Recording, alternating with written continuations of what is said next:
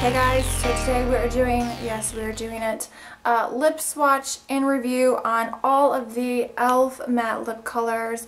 They just released three new shades, so I'm sure a lot of you are really interested in those. Um, right off the bat, these are $3 each. I love them. Can't really complain. They are all matte, and there is a whole bunch now in the collection, and I have all of them here to do some lip swatches and all that. I just recently did a lip swatch and review on all the e.l.f. glossy glosses. If you missed that video, I will link it down below. Definitely check that out. Now, this is the old packaging. And then this is the new packaging. Uh, pretty similar, it's just the writing on the front is a little bit different. So, um, they're all color-coded at the bottom. They all have sharpeners at the bottom so you can sharpen uh, the ends here. What I love about sharpening these with the sharpener is that you can use these as a lip liner and as a lipstick.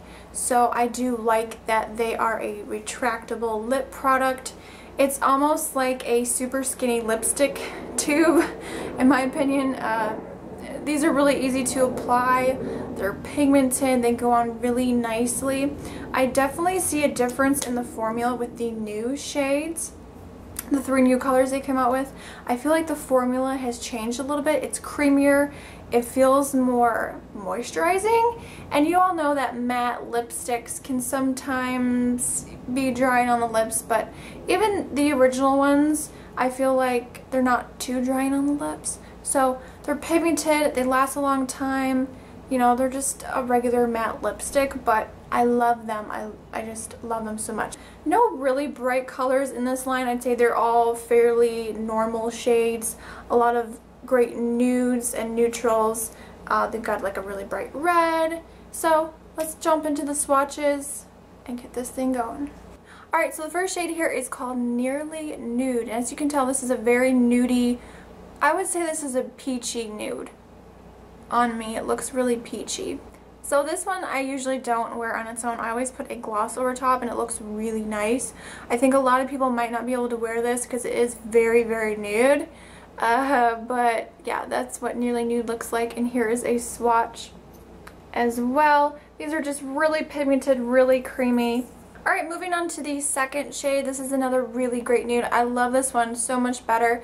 This one is called Natural, and as you can tell, it matches my natural lip color perfectly. This is like my lips but better shade. I love it so, so much. This is my go-to nude when I want something really matte. Ugh, I love it. It's beautiful. Uh, so here's a swatch here of natural. So you see compared to uh, nearly nude, it's more of like a peachy, pinkish color, and this one's definitely more of a pinky mauve. Alright, moving on, the next one is called Coral, and this is of course a coral color. This is the only coral out of the full collection of lipsticks, and I have to say this is probably my least favorite. Um, it just doesn't look right on me particularly. I'm not the biggest fan of corals. I would describe this color as almost a pastel coral. It's a really, really light color. It's still a little bit bright. And here is a swatch right here. And that is coral. So this one here is one of my all-time favorites. I think this is definitely my favorite out of the original six shades. This one is called Tea Rose. It's the perfect everyday sort of purplish mauve nude. I love this so much. Sometimes this will pull gray tones on me, which I kind of like that sort of purplish gray kind of lip color. So that is what Tea Rose looks like. And here is a swatch right here. Another really beautiful shade. I wear this one all the time and this is like my second tube of this. I love, love, love this one. That's Tea Rose. Alright, moving on. This one is Praline and I love this one.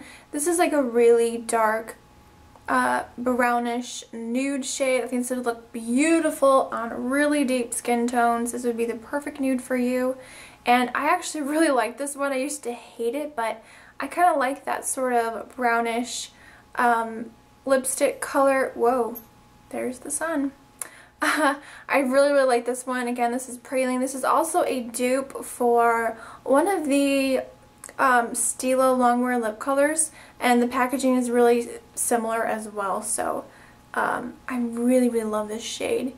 So that is Praline. And here is the swatch right here. My lips are going to be raw after this. Oh well. This shade here is called Red because obviously you can tell it's a red shade. This is another reason why I love these being in a jumbo like small pencil form is that you can really outline your lips and you don't even need a lip liner. I did not use a lip liner with this color. This shade is my least favorite because I'm not a big fan of reds that have a really strong like pink undertone but this I think would be a beautiful red for like in the spring or in the uh, summer months because it's just a really vibrant pink red. And here is a swatch of rich red, super duper bright, really pigmented. Alright, so this is the first shade here, and this is one of the brand new colors. This shade is called Fuchsia, and this is the only pink, and I'm glad they came out with the pink, because they really, there's no other pink besides the red, which is more of a reddish pink color. So this is straight up really nice, beautiful, bright fuchsia color. Very bold. Again, like I mentioned in the beginning, these uh, three new shades, they feel like they have a little bit of gloss to them. I don't know if you can see it, but these are a little less matte than the original six uh, in the line. So uh, super creamy, so pigmented and vibrant. And here's a swatch right here. And that is fuchsia. Oh my goodness. Love, love, love. So next up we have wine. I actually meant to put cranberry on first because cranberry is a little bit lighter than wine. But oh well, I already have it on now. So this is what wine looks like. This is a super beautiful, perfect, perfect shade for fall. I would describe this as a beautiful wine shade. It's like that Merlot wine. So, so pretty. So that is wine. And here is a swatch right here next to, so that's fuchsia and that's wine. Alright, and last but not least, this is cranberry and it's a beautiful cranberry shade. I really love this one. It's been my favorite sort of fall, another great fall color. I just, oh, I love it so much. This has more of a reddish undertone to it, a reddish brown. I would describe this as a like a burgundy. Yeah, like a burgundy color. Uh, so that is cranberry. I absolutely love this one. I think it's definitely one of my favorites. I like wine as well. So those are the three new shades. You've got fuchsia, wine, and then cranberry here on the end. Alright, so that was the lip swatches of all the e.l.f. matte lip colors. I love these so much. Definitely check these out. I'll put um, their website link down below, eyes, lips, face. I hope you enjoyed this video. Please give it a quick thumbs up. I always appreciate it. You can comment, share with your friends, subscribe if you're not subscribed. Thank you guys so much for taking the time to watch today. Don't forget to check out my other e.l.f. reviews and my playlist down below in the information bar. I will see you all next time. Remember, smarter beauty is better beauty. Bye guys.